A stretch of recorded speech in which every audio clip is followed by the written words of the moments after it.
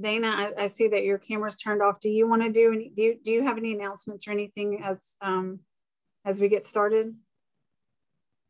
You're on mute. You.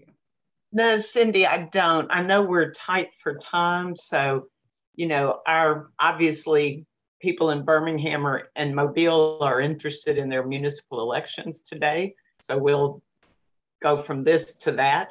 Um, and we need, you know, I know the panel's going to talk about our next steps in terms of redistricting. So I don't have anything else so that we, I don't take up too much time on the agenda tonight. Okay, great. And that is Dana Ellis, the president of the board of the uh, League of Women Voters of Greater Birmingham. So thank you, Dana. And I and she brings up a great point. There are municipal elections happening today in Birmingham and Mobile. If you have not voted yet, please turn off your camera and turn off your computer and go vote. I'm sure that if you're on this call, you probably already have voted, but we would totally forgive you if you somehow forgot and need to go vote. Because that is the most important act that we um, that we promote here with the league. But assuming that everyone has voted where you can, um, we will go ahead and get started with our program. So my name is Cindy Lowry and I am a, uh, the Vice President of the Board of League of Women Voters of Greater Birmingham. So thank you guys for joining us tonight. And I am um, hopefully like many of you learning about redistricting and the work that the league is doing and, and other organizations in the state are doing around redistricting in Alabama. And we were um, fortunate enough to find this film that we're really excited about to show you that that's going to kind of kick off our discussion tonight. So we hope that you'll stay with us through the film watching and the um, the rest of the discussion afterwards because I think it's going to be very robust and very enlightening to see how we can uh, what's going on with redistricting in Alabama and what gerrymandering and redistricting is all about. So tonight we're very excited to have um, Robert Millman with us, and Robert is the maker of the film. Uh, he's the co co-creator of the film with uh, his daughter, and I in my notes I did not put her name down. Robert, can you? Rachel. Can you Rachel. And the film is called Line in the Street, and there is a website about the film. There's an actually an hour long version that we're not going to watch tonight. We're going to watch the 30 minute version, but there is an hour long version you can also go and watch if you go to the website and, and uh, check that out. So we hope that you will share this with, with others and um, spread the word. After the film, we'll have um, speaker uh, speakers to talk about what's going on in Alabama Robin Buckelew of the League of Women Voters of Alabama and the Tennessee Valley uh, chapter of League of Women Voters is with us tonight, who has been doing this work for a long time and is very educated. It's very, I've learned a lot in just short conversations I've had with Robin. So we're excited to have Robin with us. And let me see if Felicia's on the call yet. Do we see Felicia? Yes, there's Felicia. Felicia Scalzetti is with the Alabama Election Protection Network and Crowd Redistricting Fellow um, assigned to the Birmingham region of, of the state and, and also the Wiregrass. So she's got a big job with, with her redistricting work. So she's also going to be with us to talk about what's going on in Alabama. So this is an experiment we're doing because we did say we're going to watch a movie and we are going to watch a movie, but you're going to have to listen to our instructions in order to do that. so um, if we don't have any other announcements from, from the league, we're going to, I'm going to put a, a link in the chat feature. So if you are able to access the chat, so if you go to the bottom of your Zoom screen, there is a word that says chat and you can double click on it and it pulls up a box. And the box will show you a white clicking screen and a screen where people have written things. Oh, and I just pasted the wrong thing. Hold on, let me get my link pasted. So we're going to go and watch the video on another link, not in Zoom, because Zoom is not a great place to watch videos. If you've ever watched movies in Zoom, now maybe if you're just watching a video that doesn't have words, it just has pictures, that's fine. But if you're trying to follow words and pictures at the same time, Zoom makes it choppy and it makes it difficult to follow. And as I know a little bit, I have some friends that are filmmakers and I know how they cringe when they have to see their films on Zoom. So we are experimenting with this process um, which I have done with another organization one time. So I have very limited experience. But I just posted a link in the chat. It's a Vimeo link. And if you click on that, or copy and paste it into your browser on your computer, you go out and watch the video. And when I give you the go ahead, we're all going to go out and watch that video. What I would recommend that you do is keep your Zoom screen there, keep your Zoom logged in, turn off your camera, as many of you already have, and turn off your sound, and go watch the video on your own uh, uh, on this link. And then um, we're going to give that enough time. It's a 30 minute video. And then we're going to come back and we're going to have our discussion. And so, does anyone have? Does everyone understand that? First of all, if you if you don't understand what I'm saying, if you're not able to access the chat, please come off of mute now and, and let me know that you're not understanding what I'm saying. All right, in the interest of time, we're going to go ahead and just kind of start easing back into the conversation. And hopefully, folks are finishing up the film. I know it's um, everybody kind of had their own pace, so hopefully, you got to see most of it. If for some reason you came in late, which I think a couple of people did, and you only got to see about half the film in this amount of time, we hope you'll come and join us on Zoom here for the discussion and maybe pause your video and you can go watch it uh, the rest of it at the end um, after we're finished talking because I think the discussion is going to be really robust and exciting. Um, so I just kind of want to start with um, talking to the filmmaker Robert Millman, who's with us today from New York. He is he is not an Alabamian, but um, I have had many conversations with him over the last couple of weeks preparing for this and was impressed with the film when he reached out to us to, to maybe use it in our programming to really help uh, explain this issue and the importance of it. So, Robert, why don't you tell us a little bit about yourself and how you came to make this film? Uh, sure, uh, uh glad to. So, uh, I, I, I made the film because uh, gerrymandering is is foundational. it it kind of is it, it, it's the reason behind really the sort of uh, uh, sequestered uh, uh, dysfunction that our politics are living through right now. Uh, and in, in looking at it, uh, it, it, it's not just foundational, it is frankly illegal. And, and, and that really is the whole point of the film, is that the, the gerrymandering is the sorting and selecting of voters by legislators, and that violates the plain language uh, rights in, in all 50 state constitutions. Uh, I'm from New York. It violates it in New York. It violates it in Alabama. Uh, you know, the, the, my, my, my reasoning, you know, quite simply is that you, the individual right to vote exists in state constitutions. It's in the plain language of your state constitution. The other thing that's in your state constitution is the right to equal treatment, equal protection, equal justice. Different constitutions use different language, but they all say the same thing. The, the vote is supposed to be supposed to be equal. So my my effort is to uh, uh, really change the perspective uh, to, to change the framing of the issue because the, the people who benefit from this uh, rigging of elections through, through election districts, uh, they want to keep it secret and they want to keep it complicated uh, and they would rather talk about anything other than the basics. So I'm trying to hark back to the, the really the absolute basics which is that the, the right to vote is a de facto national right. It's in all 50 state constitutions in plain language. And while the language varies, uh, all 50 state constitutions enumerate uh, a, a, right to equal treatment of the law. So voting is the law, equal treatment is the law, gerrymandering is, is wrong and uh, the, the, the, the film was about events that took place in Pennsylvania because they came up with a, a wonderfully simple uh, uh, solution.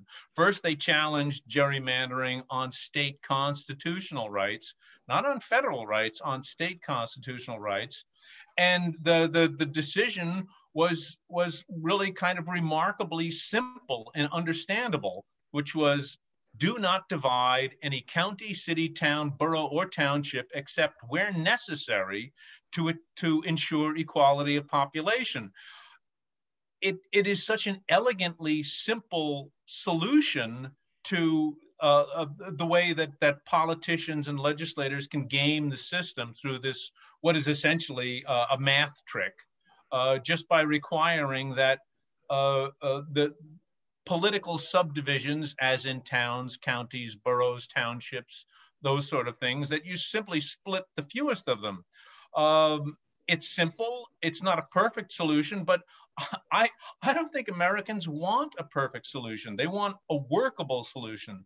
They want a kind of rough justice, and and and that's what that's what uh, that solution is.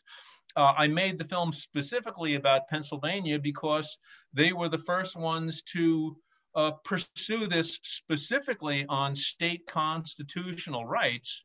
Um, and also, it is to date the only example where an entire congressional delegation was rewritten uh, based on state constitutional rights. So I, I thought it functions as as a, a, a model, uh, and you know, not everyone is going to win in in in the court of law, but the other court is the court of public opinion, and and and that's the court we all have.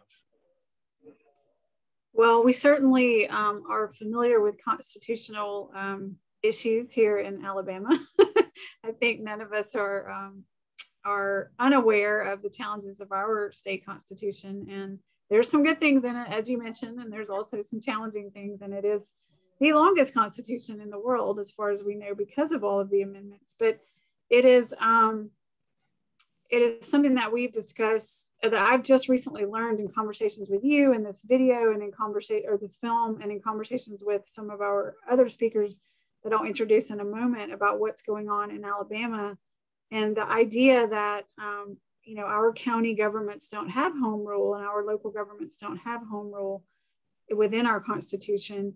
So when you break up uh, the districts and many uh, many representatives represent one county or one municipality, then that makes it more challenging for um, for local bills to pass. And that is something that is unfortunately a tactic here in Alabama for many issues because local governments have no home rule. So um, this is certainly pertinent to, to the subject of Alabama. And we really appreciate you bringing it to us. I'm going to ask you one more question and then we'll introduce our panel, our other panels to kind of get a little more into what's going on specifically here in Alabama.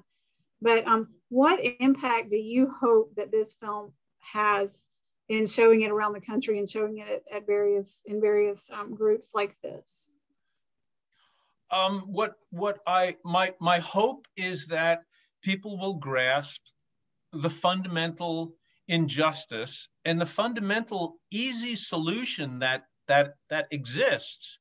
Uh, uh, again, simply the act of demanding, and, and I don't use that word lightly, demanding that legislators uh, split the fewest possible number of counties, towns, boroughs, townships, that would solve 90% of the problem. And all of the, uh, uh,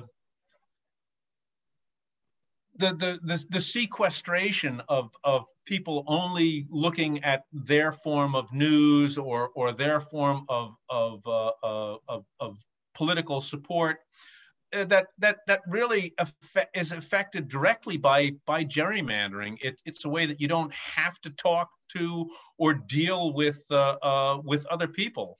And uh, uh, I'm, I'm I'm not sure if I if I if I answered your question, but I'm I'm hoping that someone in this audience, because you never know who people know, uh, might be able to help uh, get this word out on, on a bigger level. I've, I've worked on this for four years now, and uh, mostly I have a flat spot on my head for my efforts. But uh, um, I know that winning is possible. Uh, this is a sort of a, a brief war story, but New York State votes with paper ballot optical scan largely because of a film I made more than 10 years ago. So I, I know what winning tastes like and it's possible and, and winning tastes great.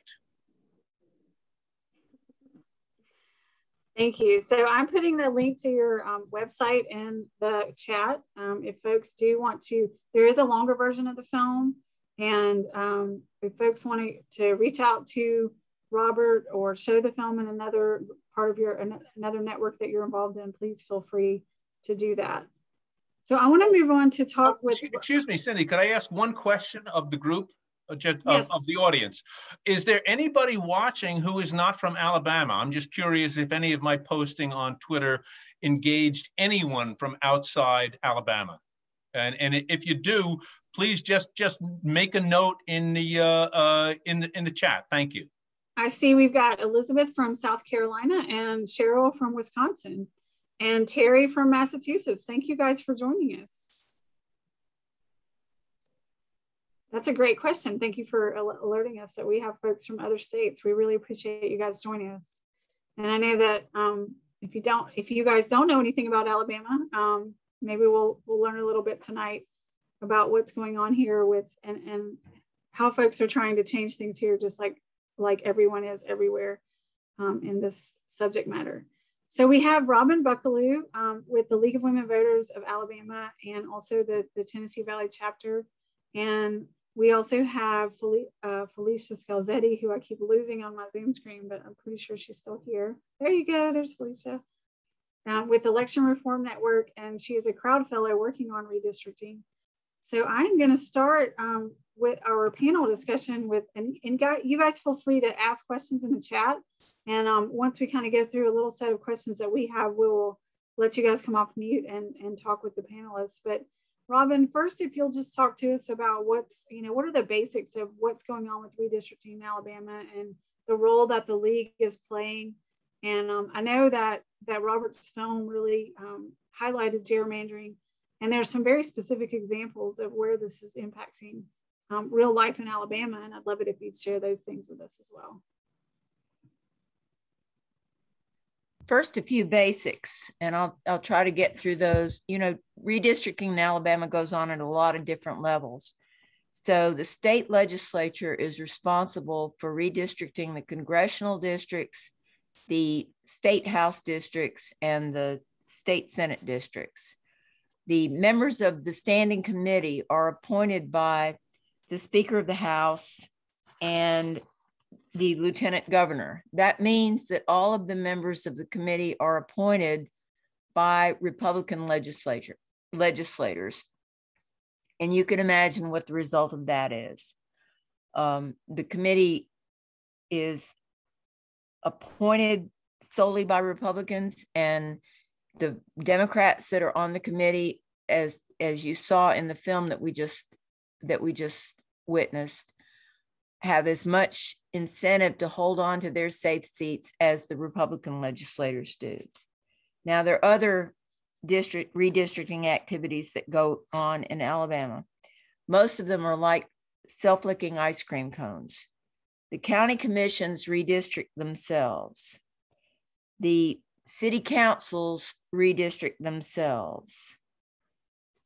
The, the districts in which the school board members are elected as opposed to appointed. That's in uh, 20 cities in Alabama. Um, the the um,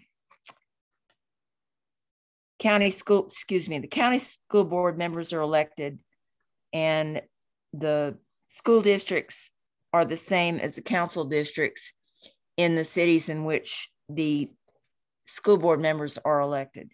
So at all levels in Alabama, we have the incumbents in power drawing the lines for the next election. Um, I'm not going to go into the the um, details of, of how all of those maps are drawn, but you ask how is the league participating in this, and the league is participating at every level. We have people on in groups and and coalitions looking at how the congressional uh, districts are being drawn. We have people going to local council meetings and looking at how the local districts are, are being drawn. I'm missing a meeting tonight in which uh, several people are discussing the ongoing efforts in the Huntsville City Council. I'm trying to cover all your the things that you were interested in, uh, Cindy. So, well, also feel free to just share what you think we need to hear because I'm, Okay. I'm just kind of uh, my questions are just kind of a guide. yeah, one of the things that I ran into when I was looking at the the material that was available for tonight uh, is this interesting part of the Alabama Code that says after the publication of a federal census of po- population or a substantial change in the corporate limits, if any council district contains a population which is 10% or more or less than the total population of the city divided by the number of council districts, in other words, the average council population, then the council shall, shall redistrict the boundaries in the following manner. Basically, the council comes up with a plan in six months and no, the mayor comes up with a plan in six months and the council has another six months to approve it. And after a year, then it goes into effect if the council approves it or not. If they don't come up with their own plan, the mayor's plan comes into law. This is in Alabama code and it provides for situations in which a population grows a lot in one part of a city or the city annexes a bunch of territory, which has been happening in Huntsville repeatedly over the last decade. So I brought it up because it was interesting to me that we haven't seen any of this redistricting activity in the city council areas.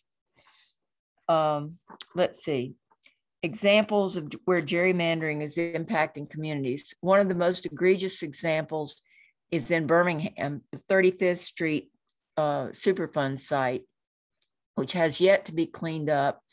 And it was carefully gerrymandered so that it's contained entirely within the African American State Representatives District, the African American State Senators District, and the African American Congressional Representative.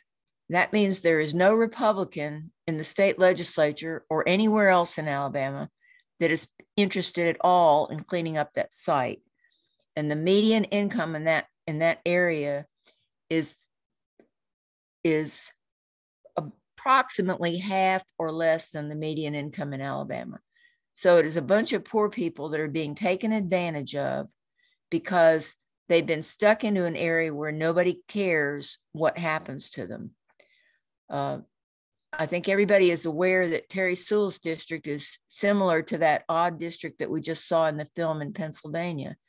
It has portions of Montgomery, it has portions of Birmingham, it has portions of Mobile, and it has a zillion black belt voters stuffed into it. So, of course, it is overwhelmingly Democratic, and therefore, the it leaves the Republicans to be divided up among the rest of the Alabama districts, which are safely Republican.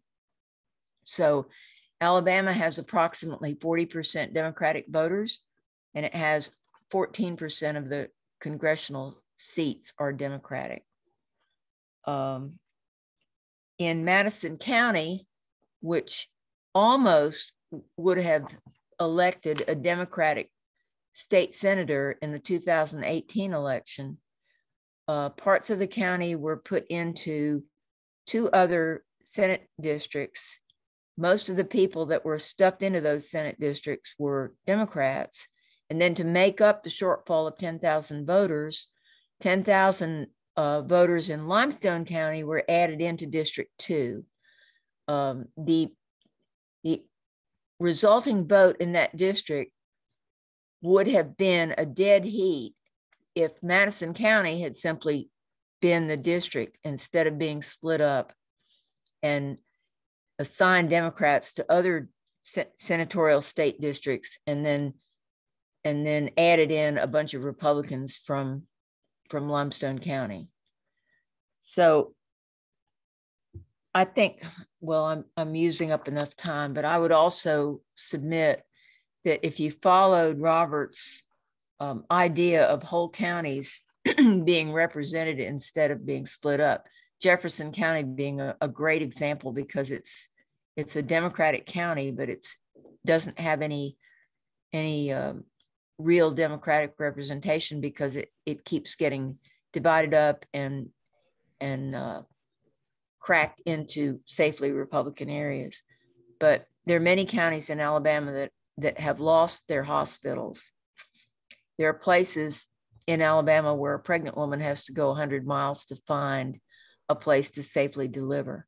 And I propose that if whole counties were left whole, either combined in, in severals or in cases of, of counties like Jefferson, um, left intact and maybe added in a couple of other counties to balance it out, that we would probably have passed Medicare expansion by now and we wouldn't have so many people, Medicaid expansion, that we wouldn't have so many people that don't have access to medical care.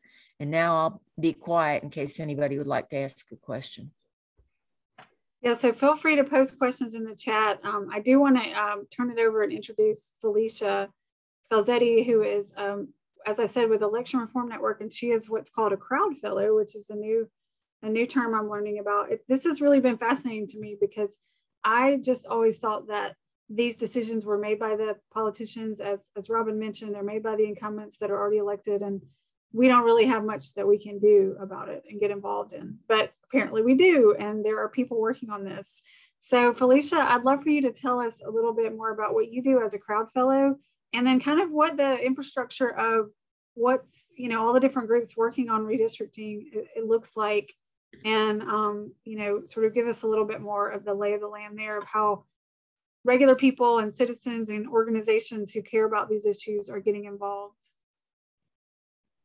yeah, I'd love to thank thank you all for, for inviting me to talk. Um, I just have one favor to ask of all of you. My internet has been a little wonky today, and I've noticed that my audio goes out for everybody else before everybody freezes for me.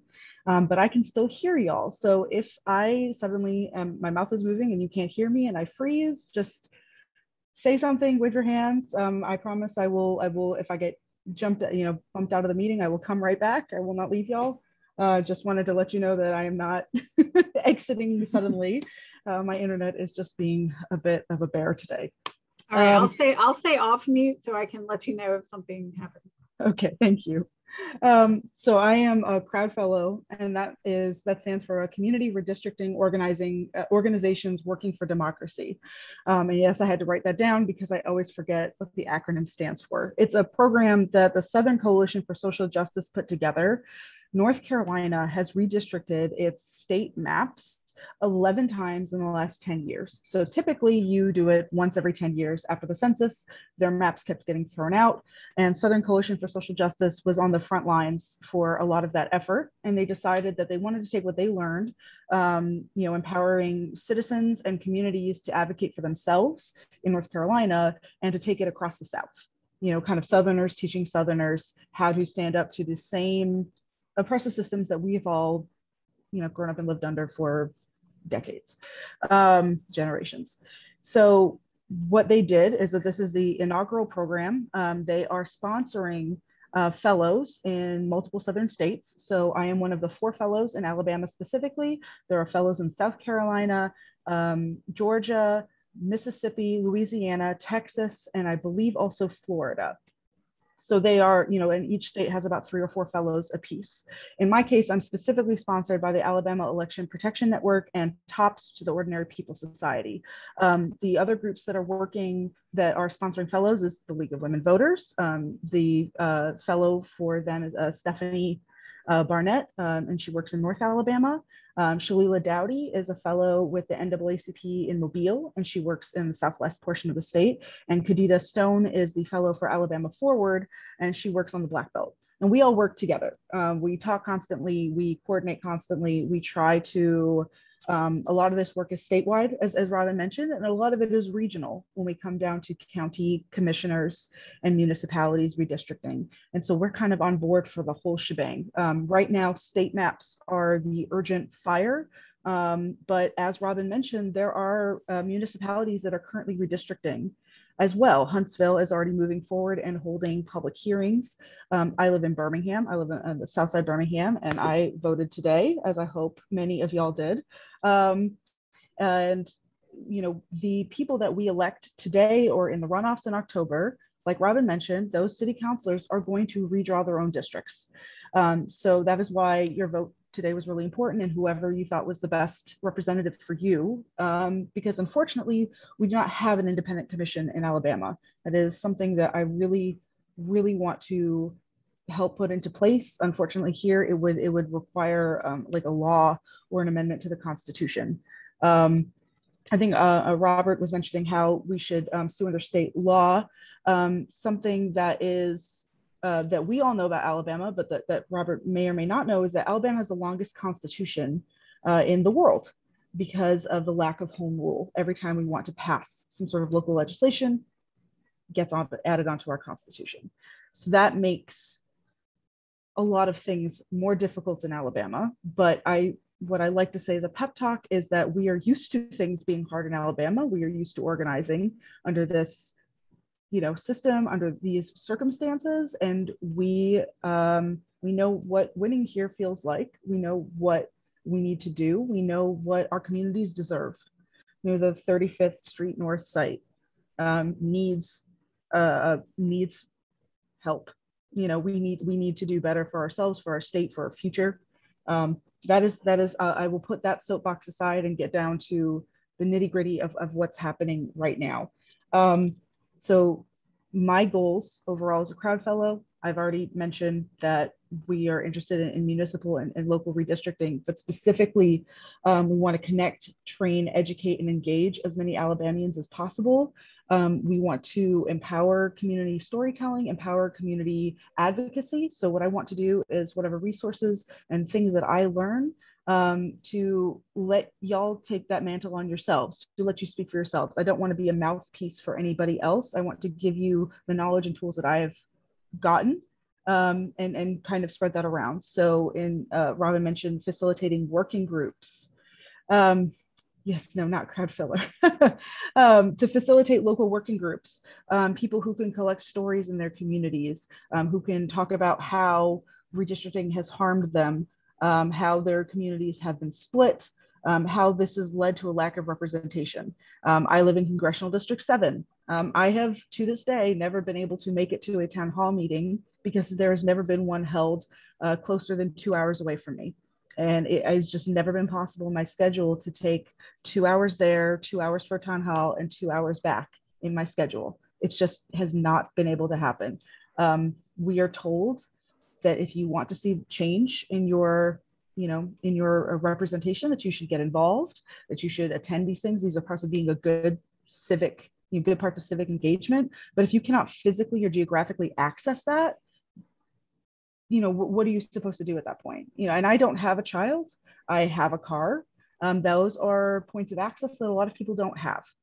Um, which uh, brings me to what is happening right now. So next week, starting on Wednesday, um, public hearings are going to be held throughout the state of Alabama. These are going to be held by the Reapportionment Committee. They're going to hold four meetings a day um, over the course of seven days. The seven days are spread out over the first two weeks of September. The problem with these meetings is that they're held on weekdays and during working hours. For example, Mobile is um, has a meeting at nine in the morning on I, I think like a Monday or Tuesday. There are not a lot of people, especially not working people, who can go to a 9 a.m. meeting on redistricting on a Tuesday. Um, the meetings most relevant to us here in, in Birmingham um, are going to be Thursday, September 2nd at 4 p.m. at Lawson State and Tuesday, September 7th at 2 p.m. Um, all meetings are going to be virtually broadcast on Microsoft Teams we are also concerned about that platform because many of us, including myself, have never used it before. And we won't really know until the first hearing how that actually goes. We've been told that any comments that you make in the chat on the virtual uh, video will be recorded in the public record. You also have the option of submitting public testimony ahead of time um, by emailing it to the clerk. So we, they are also holding meetings in person. As far as we know, the reapportionment committee themselves will not be showing up in person. They will be videoing in. There is the option for local reps to maybe show up to their own meetings. So there has been concern that should they want they could just cut the feed. Um, there, it's, it's a little more difficult to hold people accountable when you have that kind of, you know, virtual distance. Um, as a result uh, of, of all of these barriers, the fellows and I, the other three fellows, or you know, the four of us collectively, have decided we're going to hold a town hall every night. There's a public hearing. So on September 1st, 2nd, 7th, 8th, 9th, and 15th and 16th, which are all days that public hearings are going to be held by the legislators, we are going to, each one of those nights, hold a town hall on Zoom from 7 to 8 p.m., where we will catch everybody up on what the legislators have said that day, um, provide a space for people to um, ask questions, give feedback, um, find out what next steps are. We will um, be teaching people how to testify, how to submit testimony, um, what they can do to, to get involved, what this means for them, because we expect many people will not be able to go to the meetings during the day at all. and, and just generally do the legislators' jobs for them, essentially. Uh, I know that I've thrown out a lot of dates, a lot of meeting types. Um, I will be, um, you know, I, I, will send Cindy um, everything written down and, and resources. Um, we, the fellows are trying to put together a testimony training, um, something like a one-page sheet or like a like a guide um, that is written down. Crowd has resources that they use in North Carolina. We just need to update them for Alabama.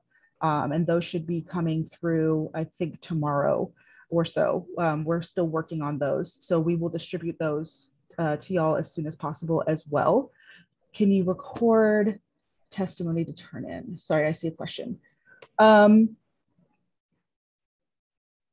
do you mean a video recording, Kathy? Is that what you're yes, referring to? Yes, I was. That's what I was thinking. I, I thought, what a great idea for you to hold those town halls if you could, if you're recording that, then you could turn it in to the reapportionment committee. So I actually, I have, um, I'm just trying to see, I believe they just say written. There was actually a question about this with Anisha earlier. So, so Kathy and, and Robin have both been on. There are biweekly reapportionment. Uh, there's a, a redistricting coalition. There are a lot of groups that have come together to try to make a genuine statewide effort um, when it comes to redistricting. You know, there are a lot of people that have cared for this for a number of years, but as far as I'm aware, this is the first time we've really had a statewide coordinated effort to try to respond to maps. Um, in 2010, I believe it was, uh, they waited until maps were, were drawn and submitted, and then there was legal action taken afterwards, um, as opposed to trying to get into this process early. Um, that, that's so Anisha and I, uh, Anisha is uh, uh, works with Alabama Values, which is a, um, a communications hub. We've been developing how to get this information out to people easily and like kind of a one-stop event. We talked about recording um, even selfie videos and things like that. As far as we know, they might not be submittable to the committee itself, but um, I mean, I, I I don't think it hurts. Uh, it's also very, very, that's great things to put online to show people what that looks like. Um, we are planning on recording the town halls as well because I suspect things will be said or, you know, there will be moments that we might want to clip out and, and showcase later and say like, this is why you should get involved or, you know, we didn't know this was happening in this district or this town. So it gives us a chance to have like that listening session as well. Um, you know, Robin talked about the 35th Street North site. I know about that because I live in Birmingham. I cover, I think, 18 counties. Um, I haven't been to all of them physically. I'm going to Dothan this weekend. It's going to be the first time I ever have gone to Dothan. Um, there is, uh, there's just, there, there's a lot of territory. Alabama's quite big, um, even though it might not look it. To keep track of all of these individual places, to know what that, those little the Superfund site is not little, but to know what the concern is in that community is really important when you're drawing maps um, because otherwise you, you don't know what the context is. You know, you could draw out uh, a district around the 35th Superfund site. There's nothing on a on a on, on a map, you know, in the mapping software that tells you, you know, alert, alert, this is a Superfund site or this is a, this is an area where like there's been a lot of litigation. You know, I could look at a county that I've never been to and I wouldn't know that something like that existed unless somebody in the community tells me. and that's why this this kind of communication is is really important i know my area pretty well i know southside very well i know birmingham pretty well i know jefferson county pretty well i know shelby kind of the further out you go Rob, let me ask robin real quick if um or Jean, or I, pardon my ignorance about the the various leagues. Is there a league in the southeastern in the wiregrass part of the state? Is there a league chapter there? There's a league in Dothan. There, yes, it's it's a member at large unit, but yes, they're on they're they're in the process of becoming a full fledged local league. Yes. So those but I those don't, contacts might be really helpful to you, Felicia, if you don't already have it. Yeah, I don't I don't think that includes what what you're calling the wiregrass area because yeah, I, I, this is Linda Turner and, and uh, I'm on for the league tonight in Dothan and a wiregrass area. Oh, okay. Others couldn't make it. Oh, yeah. well, so Felicia and Lynn, maybe Linda Turner, y'all need to be communicating. That'd be great.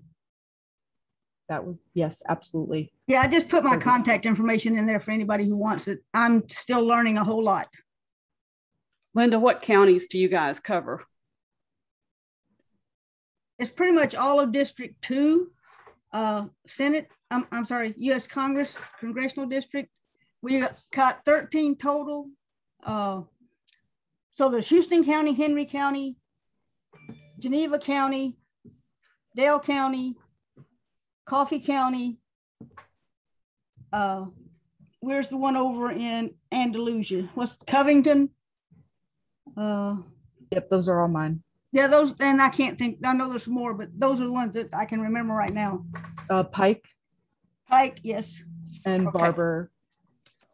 Yeah, there's there's a lot part Sorry, of Montgomery. Not to, not to be naming counties while everybody just stands here riveted. I apologize. No, that's okay. I think this is a great connection. I hope that, I mean, if you guys didn't already know each other, I hope this will be helpful. Felicia, um, I think one of the most exciting things that the crowd fellows are involved in and, and several other groups is the idea of letting communities of interest identify themselves, going out and talking to people. And I wish that you would talk a little bit about that. Yeah that's so that's been an ongoing effort. There have been there's been difficulties first of all with covid. Um, we got a slight reprieve over the summer. The crowd fellows were kind of getting their legs under them and and trying to get uh, lay of land understand what our roles were. Um, and i think it we all really regret those like three or four weeks because it feels like we missed a window to be going out in communities personally I I know I am concerned, and several other the other fellows are also concerned, as well as member groups, that we are kind of reaching some of the same people when we only have things online. There are lots of people in Alabama who do not have internet access or city internet access or the knowledge to get on Zoom who would go to an in person meeting. And yet I feel like I'd be putting people in harm's way by holding an in person meeting. I'm personally struggling with, and you might have noticed I did not tell you whether to go in person or virtually because I don't feel comfortable telling people what risk they should take themselves um, in, in terms of going to the public hearings. So when it comes to identifying communities of interest, we sort of have one hand tied behind our backs because I'm sort of left only with digital outreach. The good news is that I'm actually digital organizer. So I have some knowledge of how to maneuver in that space and how to actually reach people. But even still, it's not ideal, but we're going to do what we got to do with this is this is the this is the you know situation we were handed with and we're going to make some lemonade out of it. Um, when it comes to identifying communities of interest, the way we started, most of us, was asking um, our, you know, the orgs that were representing us, what areas have they been working in the most? Um, the other lens that I've used to like identify communities of interest is areas that we've organized around. For example, I haven't talked about prison gerrymandering yet. Um, just out of, out of curiosity, um, does anybody here know what I'm talking about when I say prison gerrymandering? i know Robin does, but does anybody else know what I mean when I say prison ger gerrymandering? Okay, prison gerrymandering is um, the act of using a prison's population of incarcerated people to artificially boost the number of people counted in your district. So in Alabama, we have the highest rate of incarceration in the US. We have the highest number of people per capita behind bars, and the majority of them are Black. What this means in, in reality is that because these facilities are located in rural and usually white towns, small towns, when the census counts people, they count inmates as living in the district that the jail is located in. So this does not matter how long you've been in that facility. If it's the night that the census is, is, you know, the census count is being taken, you get counted there and not at your home address. If you were in the drunk tank that night, if you were serving a one week sentence for, I don't know, running too many red lights, you might have gotten counted somewhere that was not your home address. What this does is systematically take political and economic power from urban and more diverse areas like Jefferson County, like Birmingham specifically, and transfer it out to Shelby, to Bibb, to um, Etowah, to any place that you have mass incarceration facilities. This, this also happens on a smaller scale with jails as well. But just to th think in your head where uh, prisons are, and then understand that any one of those facilities, they're counted as residents of whatever county or municipality that is. So this is a, like I said, a systematic drain. So um, last year, or really six months ago, there was a grassroots effort to oppose three new mega prisons being built. Those organizers are also very interested in prison gerrymandering. That's sort of a non traditional community of interest. These communities came together and said, we don't want this prison in our backyard. They didn't know about prison gerrymandering, but that's another aspect to it. So I've been going back to them and trying to reconnect with those organizers and say, hey, I know you were organizing around this issue and that you care about incarceration in Alabama. Here's another part of it that you might not have realized is actually connected to redistricting. How do we support you in doing this? Because right now, in the state of Alabama, we would have to pass a law to reapportion people counted in incarcerated that are incarcerated back into their home districts. Um, and that would be, again, a huge boon for um, urban areas and for um, any diverse areas. That's, that's exactly where the drain is happening. Um, so that would I know that directly. was a that was a very successful organizing group. So that sounds like some great folks to be reaching out to because yeah, we were involved a little bit. I was involved a little bit in that with another organization. But I do want to. I, I, hate to interrupt because this no, is, please so much we could talk about with this. Um, but I want to offer for the last um, like nine or 10 minutes we have here, if folks on the call have quest specific questions, because I know we've kind of thrown a lot of information at you. So if you uh, want to post in the chat or if you want to come off of mute, um, I will try my best to manage that. If you want to come off of mute and ask a question about um, redistricting, about gerrymandering, about what's going on with these hearings coming up in the next couple of weeks, how you can be more, how you can learn more, um, just whatever you want to ask.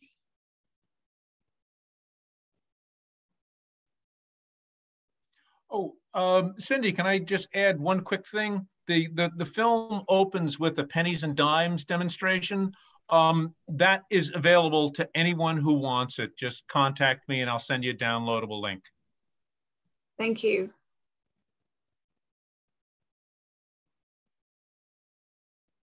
This is not usually a shy group, so I know you're sitting out there thinking about questions you want to ask. Cindy, one thing I was going to mention, uh, you had posted in the comments the link to the public hearing schedule. Um, I'm going to repost it just so people are, it's easy to find. That schedule shows the date, time, and place of the meetings, and Felicia mentioned the two particularly relevant in, in our area, the legal women, the greater Birmingham area. In addition, the, the link to join the meeting virtually um, is there too. So I wanted to draw attention to that. I think Felicia's right. People have to make their own decision about attending in person or virtually, and this schedule shows you both ways to do that. Thank you, Dana. So I, mm -hmm. I mm-hmm. have a, there is a question um, that someone posted in the chat, and, and maybe this is, I'm going to put this one to Robin first. And what what is the league testifying at these hearings? What specific talking points is the league going to have um, at these hearings? You're on mute. Sorry. I think one of the things, and I, really Kathy should speak for this since she's state president, but I think one of the the things that the league is emphasizing is the whole county um, aspect, not splitting counties up in order to to dilute their representation because we have this unique situation in Alabama? Um, I can I can answer it. Follow on to what Robin just said is we have a um, an alternate map that we're going to present at the at the uh, meeting at the meetings at least to the very first one, which is I think scheduled here in Huntsville.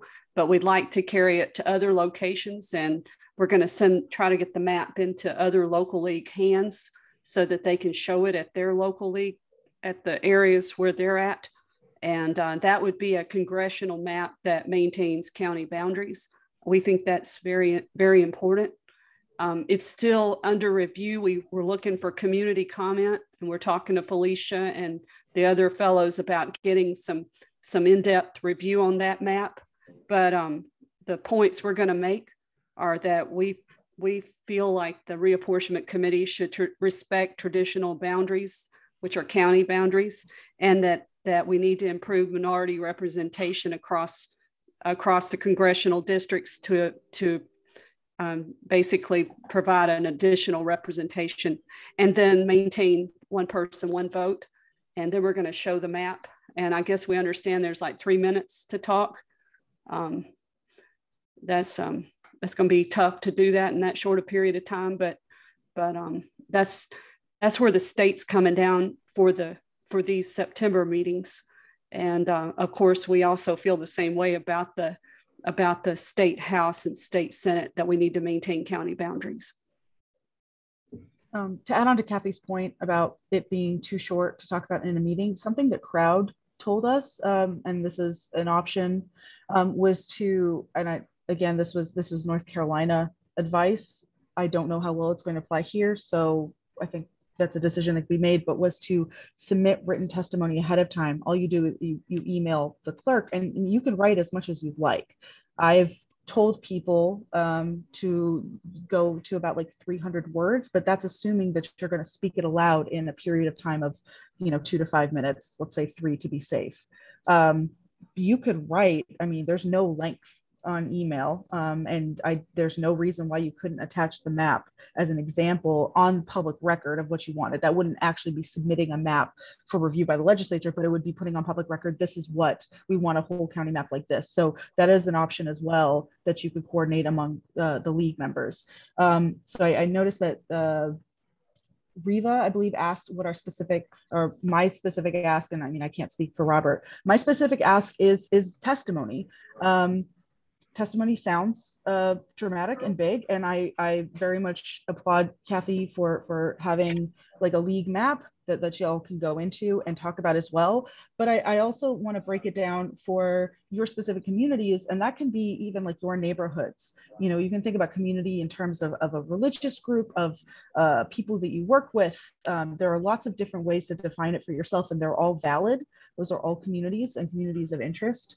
Um, when it comes to giving testimony, um, you want to give a story. Um, you want to um, describe the people that are part of your community as like a background. So you're talking about, I'm talking about X and Y community. You know, I'm a member of this area, this neighborhood, this place. We consider ourselves a group or like we all see ourselves, you know, as being part of this area. Um, what concerns do you need? If you lived in North Birmingham, the Superfund site, um, what if you live in a place where your roads have not been getting paved what what are the concerns that you have? I live in southside like i said I live near glen iris. Um, our roads flood really easily lately. My car almost got flooded out being parked on the street and it was not a hurricane or anything. It was just a sudden storm.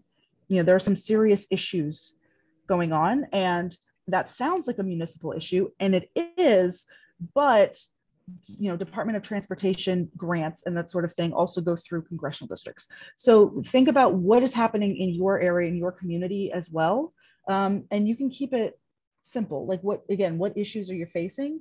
And then is there data that you can refer to? Um, don't don't turn yourself silly thinking about it but like how far do you have to go to get to a hospital? How far do you have to go to get to a grocery store? How far are essential services in, in general? Um, what are the number of people? Does your area happen to have a, a, really low income and it's right next to a high income area that maybe is in a totally different district? Things like that. Um, and then you just you just tell your story from there.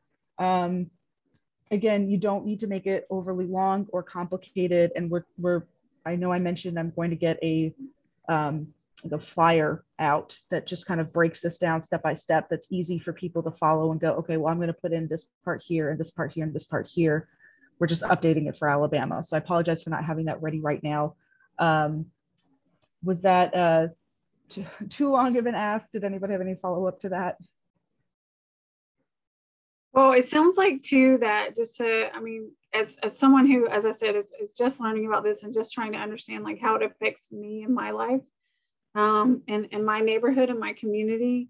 Um, obviously, I'm in Birmingham, so North Birmingham is, is definitely relevant to me um, and, the, and those communities. And, you know, maybe it doesn't affect me where I live, or maybe it does. Maybe you live in a place where the person you vote for you feel like doesn't really represent what your community looks like and that may be because of of districting maps or maybe you know of a community like north birmingham. So i think these are all things that we can do um, in addition to our own testimony about this providing this information to kathy and felicia and robin uh, as they develop their maps and develop their testimony sounds like a good uh, a good uh, way for individuals to to provide input to you. So we are uh, at time and um, I just want to thank everyone for participating. I know this is like a, a, maybe a little bit of a complicated topic, but it's very important, as we all know, um, to to voting in Alabama and, and everywhere else in the country, and to how we're represented in our democracy, which is something that's very important to the league. So I just really appreciate um, Felicia and Robin and Robert for um, providing input for us tonight. Robin, you came off mute. Did you have anything you wanted to add before we I just wanted to say thank you for having me. I really enjoyed it. Thank you so much. And please stay tuned. Um, everyone I know in Birmingham Mobile are going to get off this call and go, go watch your election returns. Um, please, please stay tuned if you're in the Birmingham area. We will be discussing um, tomorrow morning early whether, uh, when and where, uh, we, if, if there are runoffs, we might have a, we will have a forum as the League of Greater uh, League of Women Voters of Greater Birmingham. So please stay tuned for that. And our October program, and that'll be in September. And our October program um, is is in the works. It will have to be virtual again, unfortunately, because of the way COVID is. But we are working on um, some uh, maybe a more general presentation about the league and what all the different projects that the League of Greater Birmingham is doing and how you can get involved. So please uh, join us uh, each month as we try to bring you uh, great content. Dana, did you have anything you wanted to say? No, I just wanted to thank everyone um, who presented tonight and everyone who came. Again, the meetings in our area, they've already been mentioned, but just to reiterate, are September 2nd, which is a week from Thursday at Lawson State, and September 7th, which I'm sorry, September 2nd is a week from today. I'm getting my days of the week mixed up. A week sorry, from Thursday. You're right. It's 2nd. a week from Thursday. That's right. September 2nd, 4 p.m., Lawson State. September 7th, which is two weeks from today, Jeff State and Hoover. I need anybody who is interested in seeing the maps that are going to be drawn by the league um, or doing some testimony um, to let me know. And I'm putting my email address in the chat box if I can make my fingers work right. Again, thank you to everybody for a great program. Thank you all. And we will, I have tried to copy all the links that I can. I will send those to Jean. Um, and hopefully we can get a follow-up email out with the recording and and some of these links to so everyone can continue to follow this process. Uh, Cindy, if I could just uh, repeat something that Felicia mentioned, which was uh, stories matter. And, and the simplest possible story you can tell is that gerrymandering is demonstrably not equal treatment, and state legislators have a state constitutional obligation to equal treatment of the vote. It's in the plain language of the state constitution. Uh, sometimes as complex as the issue can be, especially if time is short, uh, a, a simple story has power. Great note to end on. Think of your stories. It matters. Thank you all so much and have a great evening and stay safe out there. Thank you all for having me. Thank you.